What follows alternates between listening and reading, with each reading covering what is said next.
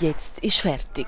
Möbel fliegen aus dem Fenster, Türen werden aufgebrochen, die Wohnungen ausgeräumt. Jedes Zimmer mit einem X an der Tür wird entrümpelt und verbarrikadiert.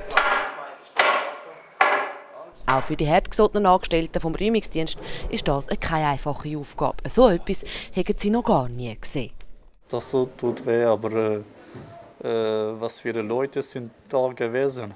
Es tut nicht weh. Liebe alles weg, alles rühren. Wieso tut das nicht weh?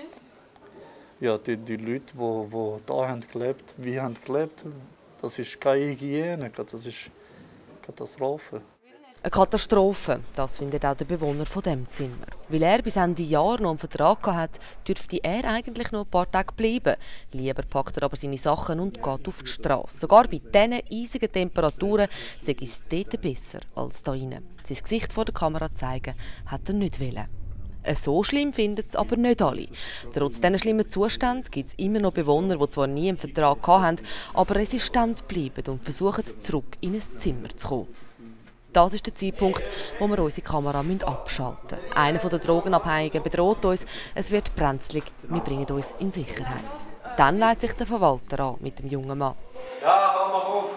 Einmal mehr eskaliert es. Zip greift ein.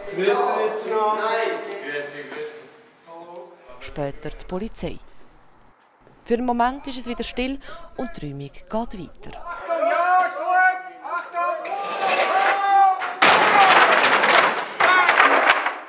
Das wird sehr ein Herzspiel werden für die, die sich da widerrechtlich Zutritt verschaffen. Die Strategie haben wir extra nicht bekannt gegeben, dass wir nicht von außen nach innen zu machen, sondern von innen gegen außen zu machen, schrittweise die Schlingen, die wir auslegen, immer enger ziehen, sodass es für die entsprechenden Menschen, die diese Liegenschaften aus welchen Gründen auch immer noch aufsuchen derart aufwendig wird, dass der Schmerz zu mir grösser ist, als der, wenn man drinnen ist und etwas konsumiert. Wann das definitiv alles leer ist, kann uns auch der Verwalter nicht sagen. Sicher ist aber, dass das Zeichen zum Ausspiel noch mindestens bis Ende Woche wird weitergehen